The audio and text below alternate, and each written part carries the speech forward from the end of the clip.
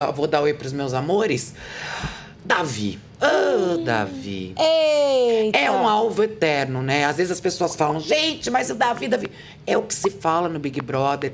Essa semana inteira, Cacá, e sei que lá na Band você é maravilhosa, com um programa, com todas as suas funções, obrigações que você É. faz com, com muita excelência, você é muito competente como jornalista. E ao falar de Big Brother, a gente cai naquilo que se repete dentro do reality. O foco é o Davi, o Davi é o perseguido, as pessoas estão usando falas muito pesadas e problemáticas e não tem como aqui do lado de fora a gente não refletir a perseguição lá de dentro.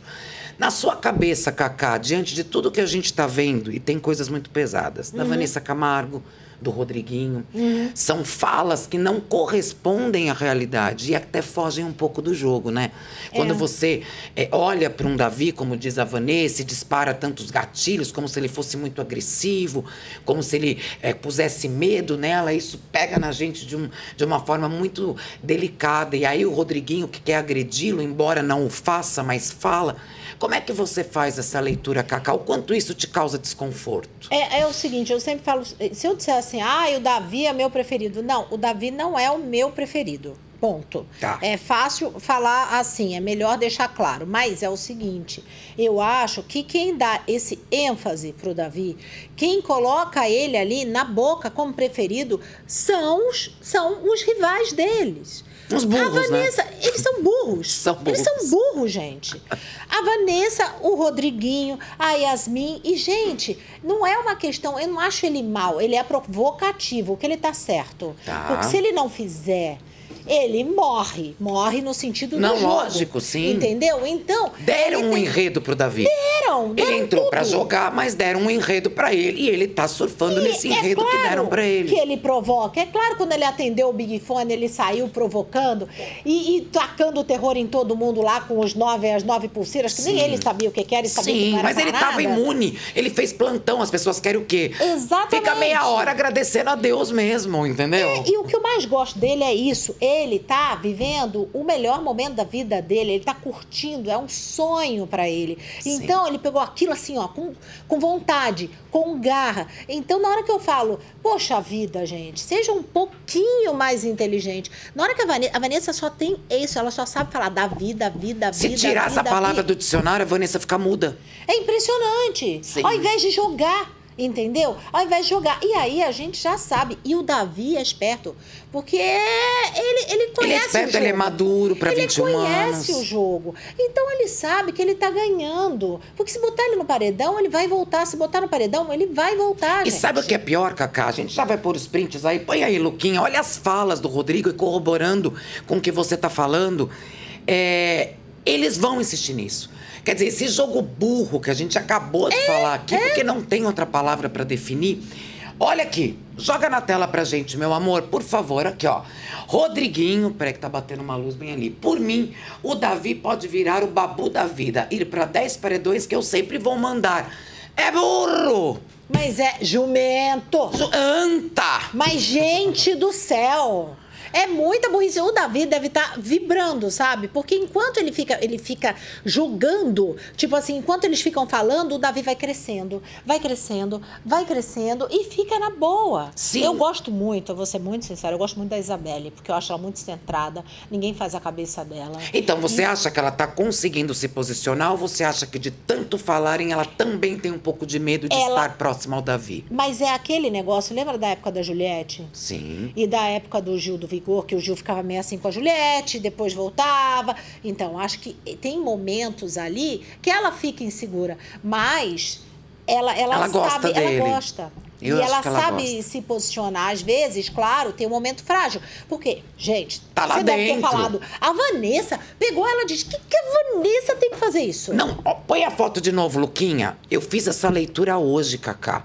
Eu fiz essa leitura hoje. E é isso, a menina tá dentro de um jogo, ela não tem as informações que nós temos aqui fora. É óbvio que a gente tem que relevar, tipo, vai, Isabelle, se posiciona. Não, Não é ouça a assim. Vanessa. Não é assim. A gente também não é ignorante, a gente vai analisar e tentar imaginar como é estar confinado e ter que lidar com a pressão da Vanessa. Luquinha vai pôr pra gente a foto, eu pus hoje. Hum. É, olha isso. Olha isso. Olha como é que ela pega na mão Não da é só na Isabelle. fala. Olha os joelhos da Vanessa. Ela tá sobre os joelhos da Isabelle. Ela está acuando a Isabelle no canto do lavabo. Ela está pressionando, ela está ameaçando no sentido, quando a gente sabe o que foi dito, é não dê o anjo para ele, porque senão vai você. Uhum. Gente, agora imagina uma situação dessa sendo feita por outra pessoa que não fosse a Vanessa. Ah, não, se fosse feito pra Vanessa, ia dar gatilho nela. Total. Olha é. isso.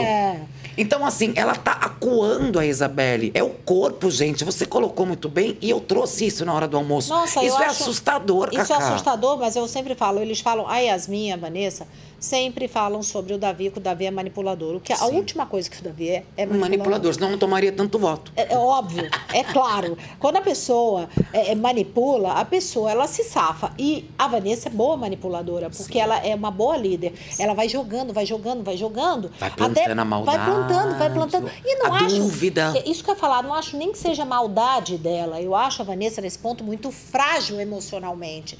Então ela pegou um pra, pra sabe? Para Cristo pra mesmo. Cristo mesmo. E virar e falar assim, cara, esse cara me dá gatilho, porque eu odeio ele, porque não sei o quê, porque não sei o que lá. Então, eu Mas, eu na verdade, acho... ela tem coisas mal resolvidas e acabou projetando tudo que é mal resolvido nela no Davi? Eu acho que sim.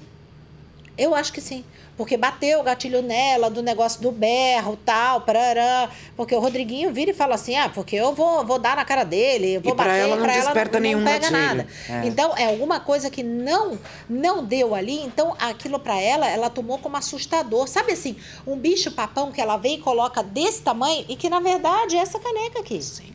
É só mais um jogador. É essa caneca, mas eu acho que é um, um é, de verdade, ela é um descontrole emocional da Vanessa que acaba reverberando em todo mundo. A gente fala assim, aí teve o Pisani, né, fora do, do BBB, que falou assim, gente, é, vocês não estão lá dentro, lá dentro é outra visão.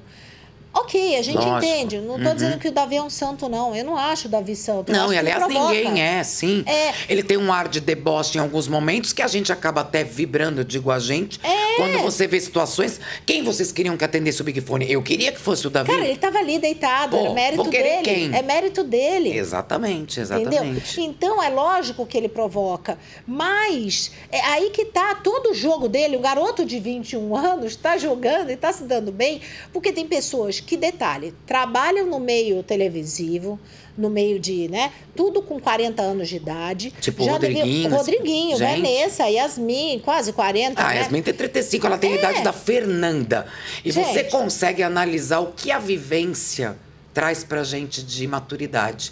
Não tô dizendo que a Fernanda, ah, a Fernanda tem suas falhas, usou palavras ácidas com a Bia, mas, gente, põe a Fernanda e a Yasmin, elas têm a mesma idade. Uma parece uma criança mas é infantil é... e a outra é mulher. É, mas é aí que tá. É a vivência, é o jeito que você falou, é aquela vida frágil, que tudo é motivo de que, ah, eu, eu estou mal, ah, isso daqui eu, mentalmente eu não consigo. E, e, e às vezes a, a, vida da gente uhum. comum, a gente não tem nem tempo para isso. Sim. A gente tem que. A gente não tem tempo para cair. A gente tem que reagir, a gente tem que lutar. A gente vê isso com a Bia, a gente vê isso muito com a Fernanda. Muito. Entendeu? Ela pode ser vilã. A Pitel é novinha, mas olha as coisas mas, que ela fala, olha a experiência, olha a é cabeça. A vida, né? Porque, é, na verdade, Yasmin e Vanessa foram criadas numa, numa bolha. Numa redoma numa bolha, entendeu? Então aí fica tudo muito frágil e elas esquecem de jogar. Eu acho que o povo do camarote, primeiro que eu gostei dessa coisa de pouco camarote. Ah, eu também, por mim podia acabar no ano que vem. Porque se é para blindar camarote, não põe camarote é, também. Não pode blindar camarote, mas